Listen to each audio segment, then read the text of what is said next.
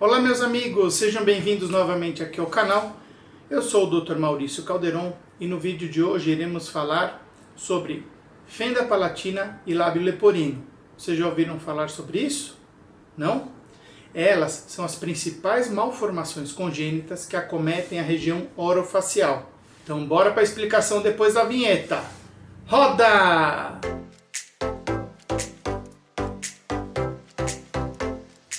Bem, meus amigos, antes de começar a explicação, eu queria pedir para vocês já deixar aqui embaixo e clicar no seu like.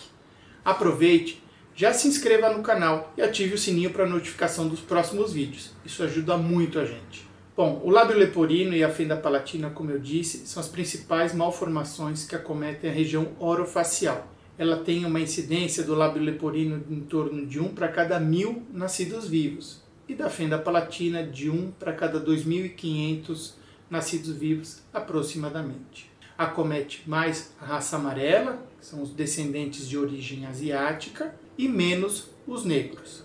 Acometem também o lábio leporino em torno de dois meninos para cada menina, e a fenda palatina é o inverso, acomete duas meninas para cada menino. Mas isso varia um pouco dependendo da literatura estudada. Sabemos que em 60% dos casos ela vem de maneira isolada, mas em 40% das vezes pode estar associado a outras malformações congênitas, sendo que as principais malformações associadas são os defeitos cardíacos, a hidrocefalia e também as malformações gênito-urinárias.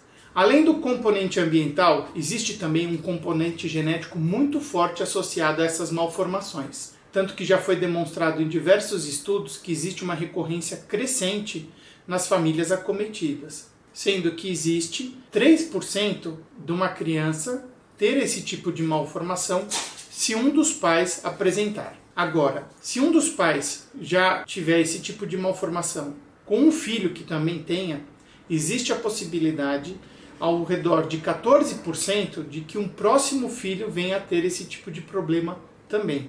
Tá? Então existe esse componente que é muito forte. Além disso, diversas outras síndromes já foram descritas associadas a essas malformações, sendo que as mais frequentemente encontradas são a síndrome de Chart, a síndrome velocardiofacial e a síndrome de Apert. Sabemos que o desenvolvimento desta malformação ocorre na vinda embrionária entre a quarta e a nona semana de gestação, então ela é bem precoce sendo que o período mais precoce, quanto antes isso ocorrer, mais grave e mais severa serão as malformações.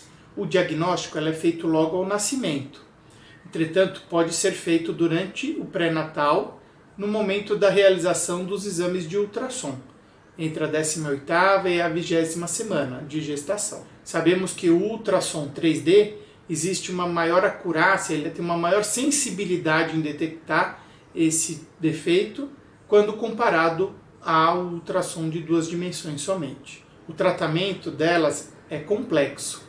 Existe e necessita de uma equipe multidisciplinar para o seu tratamento. Diversas técnicas cirúrgicas já foram descritas para fazer esses tipos de reparo, dependendo de cada defeito, que é analisado caso a caso. Sendo que o defeito labial é realizado ao redor do terceiro mês de vida e os defeitos do palato costumam ser corrigidos entre o nono e o décimo segundo mês de vida, podendo ser uma única cirurgia ou podem ser realizadas cirurgias estadiadas. Após o tratamento adequado, ainda podem existir algumas complicações. Os pacientes permanecem com um risco aumentado de desenvolver doenças como a fissura do palato, fístulas do palato, apneia obstrutiva do sono, alterações do ouvido médio ocasionadas principalmente por otites de repetição, que podem levar a uma perda auditiva progressiva. E por último, existe a disfunção velofaríngea, que nada mais é do que o fechamento inadequado da velofaringe, que é aquela parte posterior lá da garganta, enquanto a gente fala, permitindo o escape de ar e com aumento da ressonância e faz um som hiperanasalado, que popularmente nós conhecemos como uma voz fanha. Assim, é necessário um acompanhamento multidisciplinar constante dessas crianças, que são portadoras dessas malformações, principalmente para minimizar problemas tanto de ordem funcional, estética e psicológica.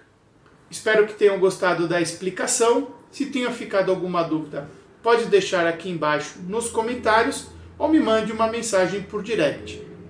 Peço mais uma vez que não esqueça de clicar aqui no curtir e se inscrever no canal. Isso ajuda muito a gente a divulgar as informações. Um grande abraço para vocês e até a próxima, pessoal. Tchau, tchau.